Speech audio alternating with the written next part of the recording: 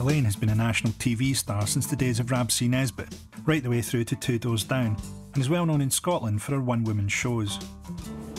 Like many small seaside towns across Britain, there's a sense that Ayr struggles to offer more than a Mr. Whippy in a fight.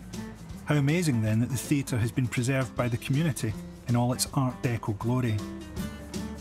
Elaine's so famous in Scotland, her appearance on the streets of Ayr could cause a riot, so that's her being delivered covertly through the stage door. First time I met you, we were doing a gig for Palestine. Do you Gaza. Remember?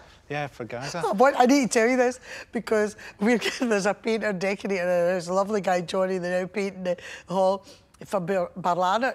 And uh, I was telling the story about uh, we had done a benefit for Gaza, and he said he was my favourite player.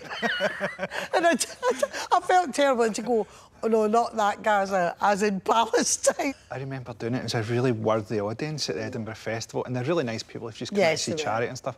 And they weren't expecting me or you probably, but like I can remember being on there and I was looking at them and it was you could tell they were kind of like, oh my god, and there were these two old women sitting together. So one was uh-huh. maybe 70, the other one looked about 80 or something. And in the middle of my thing, as they were watching me, they kind of held hands.